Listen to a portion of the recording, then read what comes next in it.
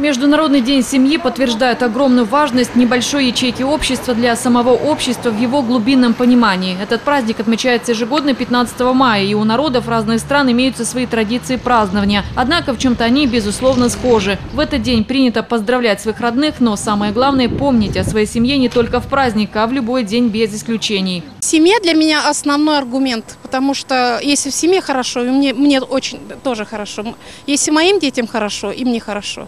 У меня четверо детей. Семья – это самое важное. Я ради детей всю жизнь жила и живу. И я не представляю вообще, как воздух, так и дети. Э, семья для меня это когда дети здоровые, когда дети веселые, когда можно выполнить все их прихоти и не отказывать детям том, в чем они нуждаются. Ну, семья для меня это самое драгоценное, потому что в мире нету ничего ценнее, чем семья. Семья это есть то, что формирует общество.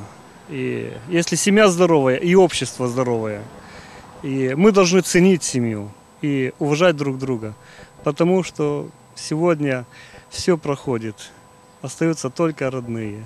Семья для нас, для меня это дети и э, муж, конечно же. Так как э, у нас нет условий для работы, они уезжают за границу, мы практически сами одни. Я с детьми и все.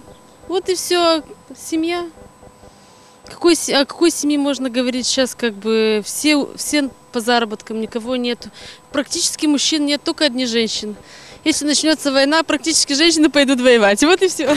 Семья – это первичная ячейка социальной общности людей, основанная на браке или кровном родстве. Один из самых древних социальных институтов, возникший значительно раньше классов, наций и государств. Я думаю, что этот праздник очень нужен для каждой страны и в особенности для нас. Потому что для скрепления уз семейных, я думаю, что должны быть эти праздники. Я хочу сказать, что в нашем Тараклийском районе с начала года было зарегистрировано 71 брак.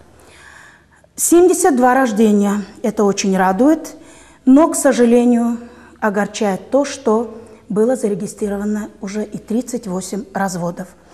В семье начинается жизнь человека, здесь происходит формирование его как гражданина. Сегодня в нашей республике Институт семьи испытывает немалые трудности, особенно в области репродуктивного здоровья.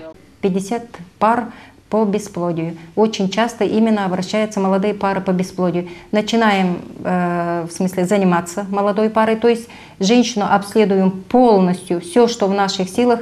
Мы здесь один раз в две недели э, по четвергам берем э, анализы на инфекцию, 7 видов инфекций, что может явиться причиной бесплодия. Эти анализы у нас отправляются в Кишинев, через две недели мы уже знаем результат. И если видим, что женщина пределах э, нормы обследования, обследуем мужа уже. Они тоже проходят курс лечения. И, в принципе, из этих 50 пар за эти э, не 4 года 10-12 человек у нас забеременели и родили. Во все времена развития страны судили по положению семьи в обществе и по отношению к ней государства. Рассматривая причины частых разводов и проблемы бесплодия семейных пар, специалисты сошлись к одному мнению.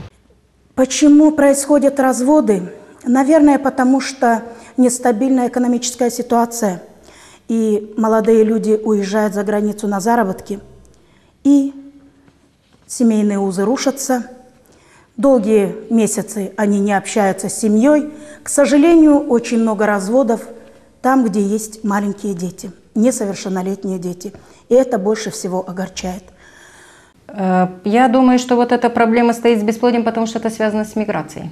Очень большая миграция молодежи и женского, и мужского пола за границу.